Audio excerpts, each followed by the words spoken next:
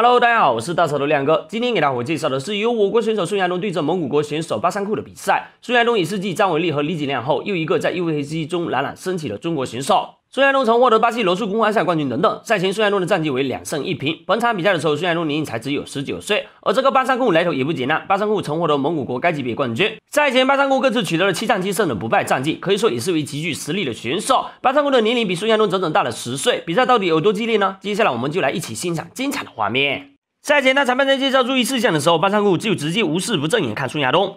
比赛开始后，巴桑库就做出非常嚣张的动作来挑衅孙亚东，这直接激起了孙亚东心中的斗志和怒火。接下来，孙亚东以凶猛的扫地暴力对手，而后被再次暴踢的巴桑库竟开始嘲笑起孙亚东。紧接着，巴桑库惨遭孙亚东以后手拳重击。接下来被再次重击的巴桑库马上选择去残暴孙亚东，而后双方马上进行了激烈的龙边缠斗。不过，巴桑库马上将孙亚东抱摔倒地。接下来，双方很快再次回到龙边缠斗，而后巴桑库又再次抓住机会将孙亚东抱摔倒地。